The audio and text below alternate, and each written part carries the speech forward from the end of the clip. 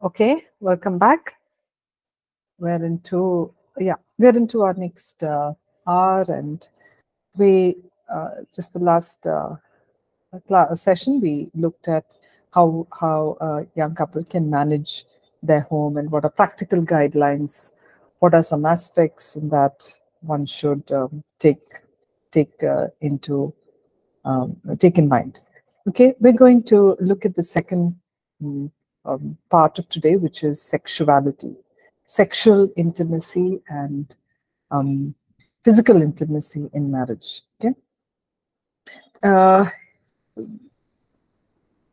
now, this is this is uh, uh, an important part of marriage, sexuality, and enjoying a, a good sex sexual relationship between husband and wife is an important aspect of marriage and there are certain uh, so what we're going to be discussing is certain instructions that's given in scripture as well as some um, insights into how we can uh, what what useful insights can we take in order for us to enjoy this aspect of marriage which is sexual intimacy in in marriage okay?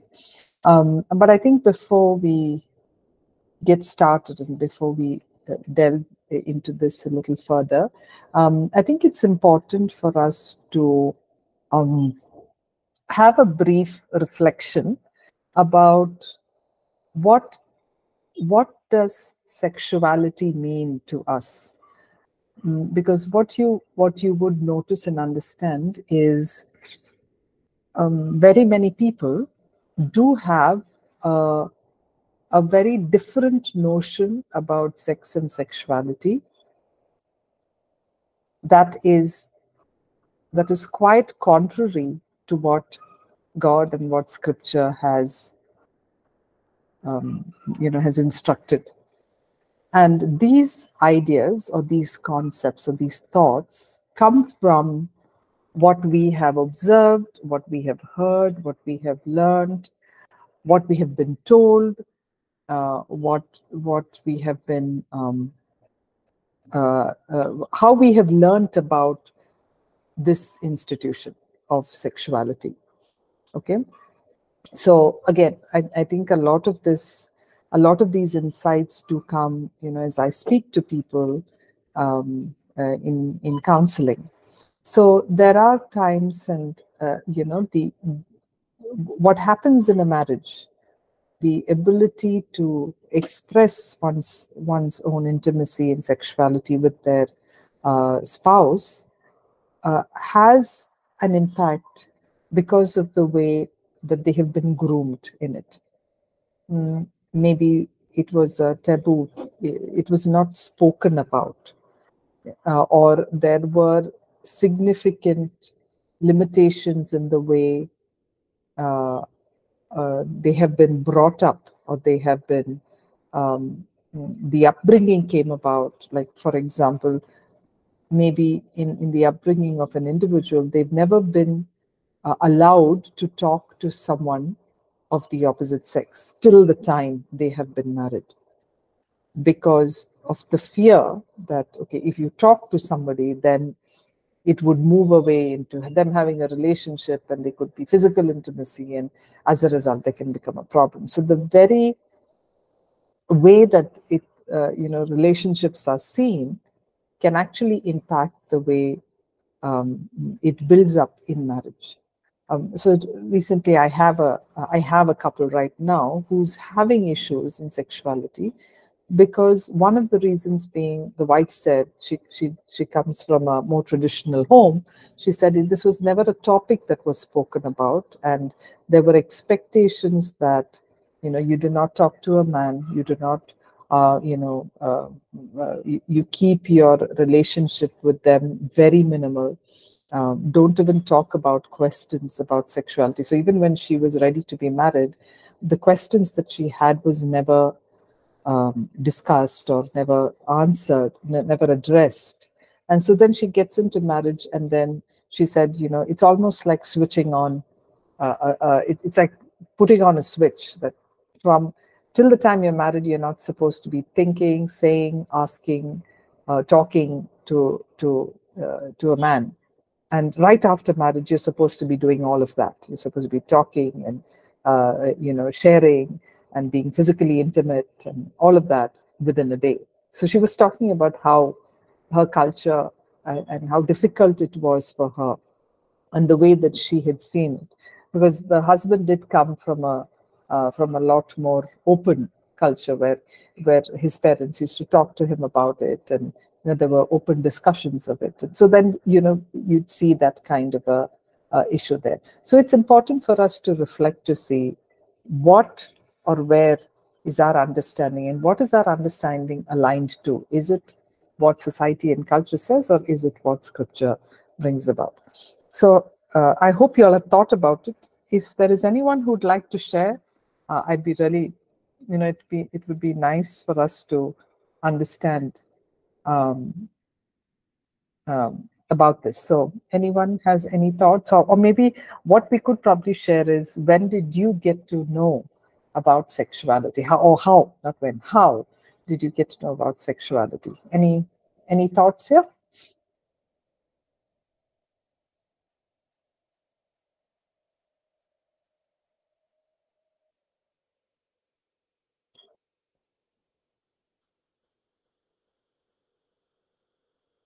Anybody?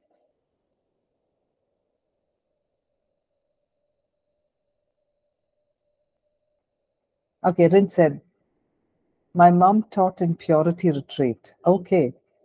And is that how you got to know or how was it? Did she discuss it with you as well?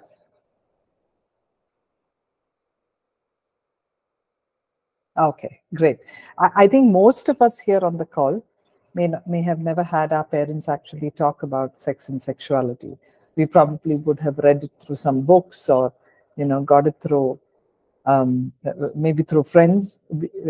In my growing up, we didn't have the internet. We just had maybe a biology book or, or just friends who would talk about this, right? But now the influence is so much greater, but the information can be so um, misconstrued can be so out out of uh, what what really God wants, right? So, and that's why it's so important. Uh, and and we will be talking about this as we as we talk about nurturing children, right?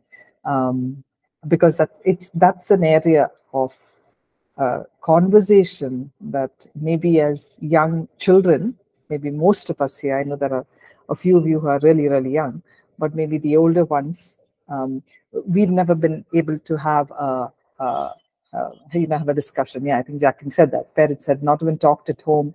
I came to know from my cousin. Right. Yeah. So um, all of this now it, it's something that definitely needs to change. Okay. So let's let's look back into the um, mm, into the into the lesson. So just like we we know God marriage and desi uh, designed marriage, we know that God is the one who designed sex and he gave it as something to um, uh, within marriage to be enjoyed. It is it is something to be enjoyed within marriage. Hebrews 13:4 says, "Honor marriage and guard the sacredness of sexual intimacy between wife and husband. God draws a firm line against casual and illicit sex." So God is the one who designed it, and He's gifted it to marriage for uh, the for the sake of intimacy, for the sake of sexual intimacy. So it is something that is sacred. It is it, it is the sacredness that is there in sexual intimacy. So again, in this verse, we do see how God warns uh, us against any form of uh, relationship, sexual relationship outside of marriage, that is outside the boundaries of marriage. So um, uh, even you know even when uh, in premarital sessions um, we encourage uh, young people to manage their sexual desires and keep it pure uh, so that they can can can keep it preserve it to be enjoyed for marriage and with their spouse okay? Now even through that even through this we do see it can, it is possible for people to have fallen in this in the area of sexual sin or even become active before marriage. Before moving into marriage, it is important to repent of this. Um, it is it's something that breaks God's heart. Um, God's you know it, it said over here we need to honor marriage and guard it. So it is to walk in forgiveness, to receive the forgiveness, the mercy, uh, and the grace of God to walk in purity um, from this point on. The, the power of the Holy Spirit is strong to help us at this point, to keep us away from anything that uh, is tem- tempting, but to also maintain that place of cleansing and purity as we uh, as we uh, walk through you know relationships. So god's the one who's designed sex. It's meant to be sacred. It's a gift. And he wants us against anything outside the boundaries of marriage, whether it be premarital, whether it be extramarital, or whether it be um, other forms, pornography, masturbation. He warns us of that to keep to keep ourselves pure and undefiled. Okay. Now the next uh, um, uh, things that we need to understand is why did God design sexuality. Why did God design sexuality? So if we have a couple of scripture that we can read, um, would somebody read First Corinthians chapter 7, verses 1 to 6? First Corinthians 7, 1 to 6.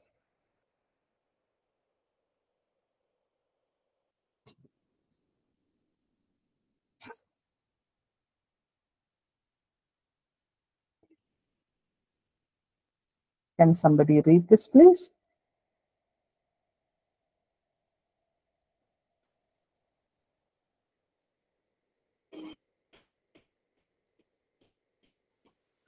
Hello, good morning. Can you hear me?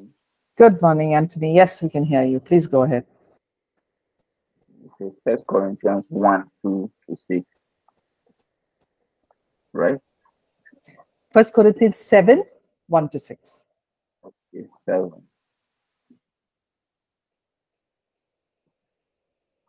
Now, concern, I'm using New King James. Is that okay? Now, concerning the things of which you wrote to me, it is good for a man not to touch a woman. Nevertheless, because of sexual immorality, let each man have his own wife, and let each woman have her, her own husband. Let the husband render to his wife the affection due her, and likewise also the wife to her husband. The wife does not have the authority over her own body, but the husband does. And likewise, the husband does not have authority over his own body, but the wife does. Do not deprive one another except with consent for a time, that you may give yourselves to fasting and prayer and come together again, so that Satan does not tempt you because of your lack of self control.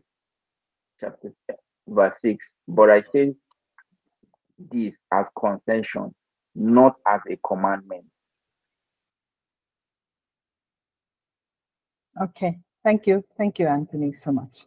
All right, so let's just uh, look at um, uh, you know the, the reason why God designed sexuality. And if you look at some of these verses, we could, you know, we can glean from from these. Let's look at uh, verse uh, 2 okay it says uh, it says over here um, every man should have his own wife and every woman should have her own husband which means that it is it is important that a man and a woman uh, um, express and experience a relationship sexuality with one another with one another so that it could be fulfilling, it could be healthy, it could be balanced in a world where there is so much of sexual immorality. It says, but because there is so much sexual immorality, each man should have his own wife,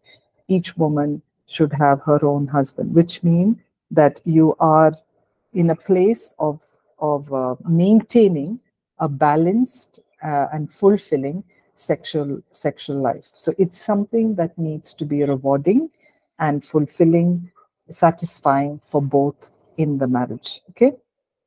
Next, we do see is in verse 3. Um, it, it's, it reads that the husband and wife should not deprive his wife of sexual intimacy, which is her right as a married woman, nor should the wife deprive her husband. So it, it talks of how it should be mutual, it should be uh, enjoyed together. It's a place of mutuality where one is seeking to satisfy the other, the husband seeking to satisfy his wife, the wife seeking to satisfy the husband. Okay, uh, it, it's it's not a selfish um, uh, uh, place where it's just for one's own gratification, but the need to engage with the spouse so that it can be mutually satisfying, ensuring that both do seek fulfillment and pleasure from from that. Okay, uh, then we look at um, then we look at uh, verse four, verse four, which reads, uh, "It it's it shouldn't be used as a weapon against one another." Uh, so the the um, again it, it reads of how the wife gives authority of her body to her husband and vice versa.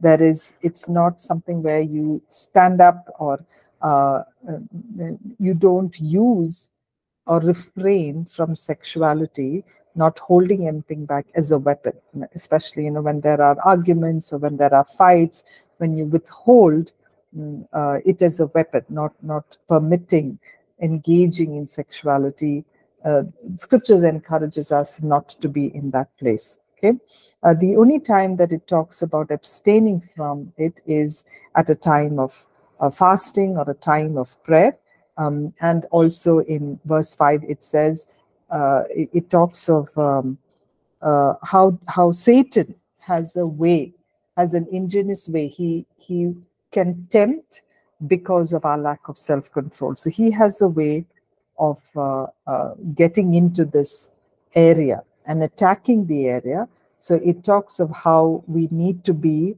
on guard and enjoy a fulfilling sex life both the husband and wife together in this area. And th this is what the scripture encourages us to do, which, which shows that God designed sexuality for enjoyment, for fulfillment, for enjoyment, also for procreation. That is also to uh, to continue with the race, to, to bring about children. Okay.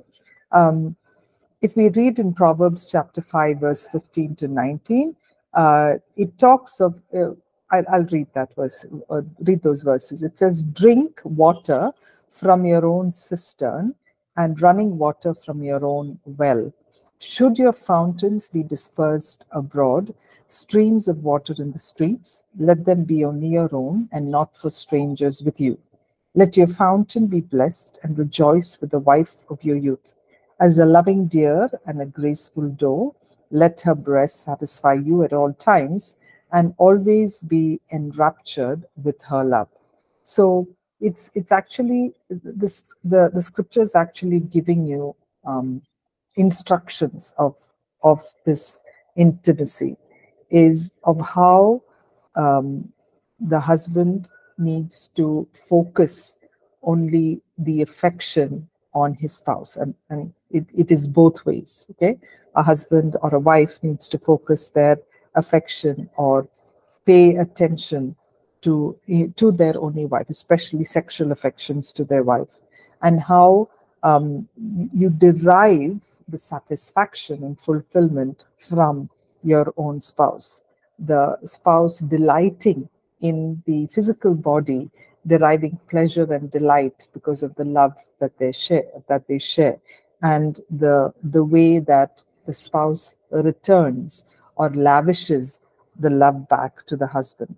So this is so through the passage we do see that God designed this for pleasure. God designed it for enjoyment, for pleasure, taking time to enjoy and experience one another. So that's that is uh, it, it is part of that greater place of intimacy.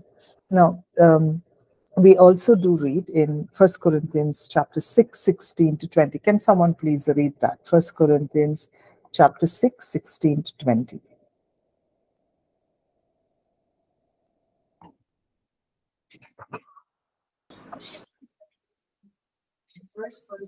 Switch on the camera. Switch on the camera.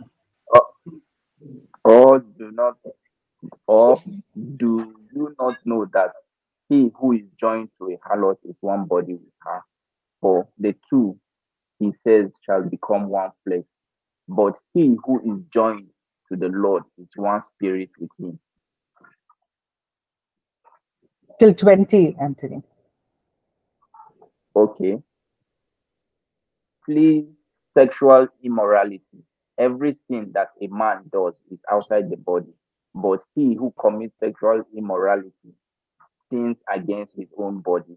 Or do you not know that your body is the temple of the Holy Spirit who is in you, whom you have from God, and you are not your own? All right. Thank you. Thank you so much. Okay. So uh, through these verses, um, we read. Uh, let's let's just look at each of these verses. So it's verse sixteen. It reads, "Don't you know that if a man joins himself to a prostitute, he becomes one body with her?" So it's saying uh, uh that uh, you know the the the act of sexuality uh, is a mystery in itself that you become one together uh, eh, the the mystery of the spiritual mystery of this physical fact is that you become one and so that is why we need to be it is an expression of commitment to one another so whenever that is broken there becomes a lot of pain and um, and bitterness and, and anger that comes about. So, so in order for this mystery of becoming one through this physical act is why you know we stay committed to one another. The 17th verse it says it is it's something that um, uh, the person who is joined to the Lord becomes one spirit with Him. It's talking about how the say the way that we become one with the Master um, you know, and because we're one with God, we must not pursue anything that that that creates the divide between what God wants for us. And uh, uh, when when we do pursue sexuality outside of marriage, we are avoiding the commitment and the intimacy that God has designed. Okay, and that can never become one. So, and that's the that's the um, uh, uh, uh, instruction that Paul gives, saying, flee from sexual sin, run away from sexual sin, because there is no other sin that clearly affects the body as sexual uh, immorality. It is a sin against your own body. So it is something, sexual sexuality is something that honors God. Uh, within marriage is that which honors God because He's the one who's designed the body, he's the one who's designed that intimacy. Okay, because God's the one who's made us body, soul, and spirit, and the it's the Holy Spirit that is inhabits within um, you know in, in the husband and the wife even during the sexual union so that it makes it a satisfying and a sacred place. So in itself um, sexuality is like a spiritual mystery and not just something that that is only a physical act. And this gets expressed when they become one. So that's the, that's another uh, reason why god brought it up. It's to enjoy commit enjoy intimacy enjoy pleasure and it becomes an expression of uh, commitment. Okay? Um, there are a couple of uh, uh, instructions that are given, important practices that are there for uh, sexual uh, intimacy. And if you look at all of that, um, it's all to do with how um, you know you you you're careful about your personal hygiene. You're careful about how you express um, uh, sexuality.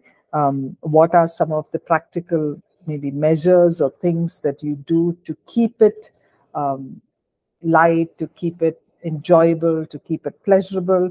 There are very many practices that are there which you could probably go through. Okay. Um, it's also important to um, manage personal sexuality, which means you know uh, on on a, on your own what is it that you need to do is a couple of things. Is one to be able to direct all sexual affections only towards the spouse uh, which also means not engaging in anything that uh, uh, that um, maybe not not just a person but even engaging in things like pornography or masturbation or even thoughts uh, uh, thoughts of fantasy right? Anything that keeps the affection away from the spouse. So directing all sexual affections towards your spouse. The second one is refusing um, the, any thought that you may need sexual fulfillment from any other means, uh, which which like we we spoke about was was general fantasies or um, um, pornography, masturbation, or or even you know engaging in um, uh, engaging in sexually sexual implicit uh, uh material whether it be movies or books or things like that, to be careful that we refuse to engage with that because that's giving a power over to the enemy. Okay. The next one is to pray, uh, pray over these sexual uh, affections and consecrate our affections to God and make sure that we dedicate it uh, to, to the spouse. We dedicate it only to our spouse. Mm, eh, it's an important matter also you know as we did as we did read that sexuality is also for procreation which means to have children okay so one of the major um, uh, decisions that a couple would need to come about is when to have children it is true that god desires to see godly offspring and we read that in malachi 2.15 it says um, his spirit inhabit, inhabits every detail of marriage. And what does he want from marriage? He wants godly children. That's what he wants. So guard the spirit of marriage, okay, and don't cheat on the spouse. So it is godly offspring that God desires be raised out of the union of a husband and wife. So it is good to discuss the for uh, the especially issues of uh, children and childbirth it is uh, it's definitely important to discuss it uh, and these can be some of the discussions that you need you can engage in um, uh, especially in premarital we do talk about some of this discussing when one would like to have children how many children what are the measures that one would use to plan their family uh, what measures would they use to avoid uh, pregnancy, uh, right? Anything that is unplanned. Um, there are other situations that we also talk about is infertil infertility. What would one do in case of, of a miscarriage or in case of infertility? Um, here we encourage people to keep believing and to keep trusting in God while you may be doing um, you know maybe maybe certain treatments that you may take on uh, in medical treatments that you take on doing that uh, yet also being able to believe god for an answer okay um, it, there is definitely um, an instruction of not ending a marriage because of infertility or because of impotence that there may be there in in one of the uh, uh, in in the in in the husband. Okay, uh, abortion is another thing that uh, we know and believe that abortion is not acceptable and it must not be allowed um, uh, to anyone. Okay, and only maybe if there is any kind of a medical danger or a medical situation that may warrant it, yet keeping it in absolute prayer. Um, so what what happens if if a person, if you if the if a spouse or his partner loses interest in sex. So there can be several reasons when a person loses interest in sex in marriage. It could be because of physical problems. It could be uh, emotional distress or emotional uh, uh, indifference, uh, or there, there could be a sense of breaking down in emotional intimacy. It could be it could be just busyness. So uh, it is important to address these matters because sexual intimacy is one to be enjoyed within within marriage, right? So to continue to um, uh, find ways of how this can be addressed. Uh, it's also important to remember that sexual intimacy is not just the act of sexual intercourse, but it is also a, uh, a place where there, there should be non-sexual affection that is shown either through you know touches or hugs or uh, verbal affection so it's always important to be generous in this regard rather than keep sexuality only with regard to sexual intercourse but to to really show affection um, non in non-sexual terms to really build that sense of being loved and being accepted and being affectionate. So it is important to do that.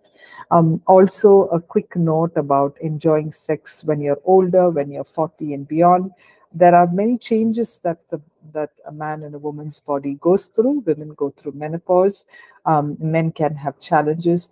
Uh, it's important to keep um, uh, open discussions about it. Enjoy fulfilling sexual lives uh, as as you keep going forward.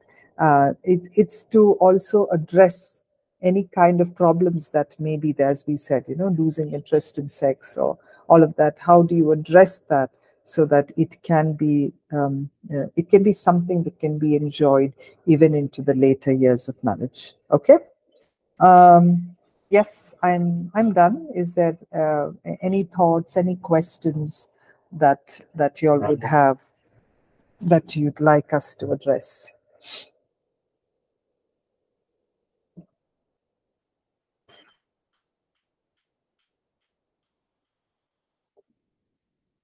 Any questions? There's no shame in asking questions, especially about sexuality and sex. No shame. So please go ahead and throw in your questions.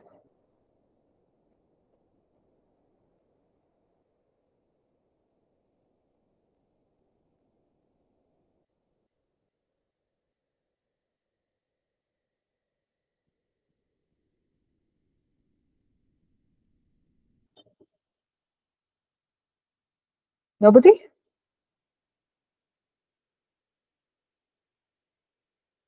Okay. Any any other thoughts, any questions, anything else from what we've covered up until now? Okay.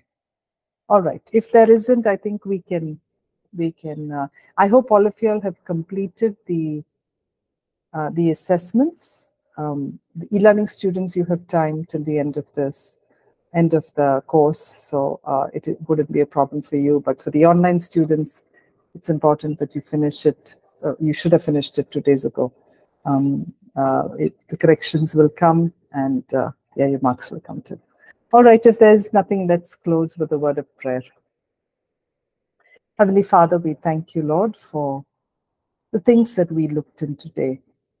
Thank you that you are a God who really has thought about everything, Father, the way that a marriage should take, take place.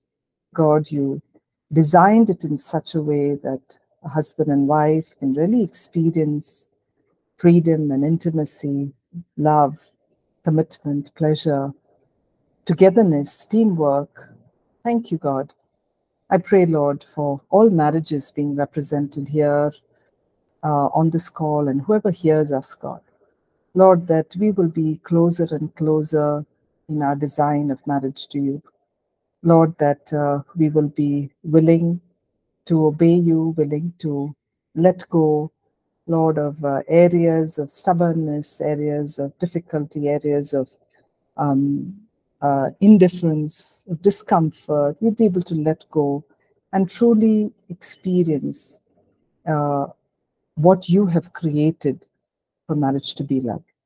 Thank you once again for teaching us from your word. Thank you, God, that um, you you go ahead of us and prepare our hearts, Lord, for greater things. I pray for each a student here on the call, as well as these e-learning students. Thank you that you are uh, guiding them, blessing them. I pray, Lord, for your uh, for your word and for your hand over each of their lives, that they will see you, Lord, in greater measures. Thank you once again. Be with us, Lord, until we meet again. Holy Spirit, continue to guide us, continue to instruct us, and comfort us. In Jesus' name we pray. Amen. All right. Thank you all so much. Have a blessed week ahead. We shall meet next week.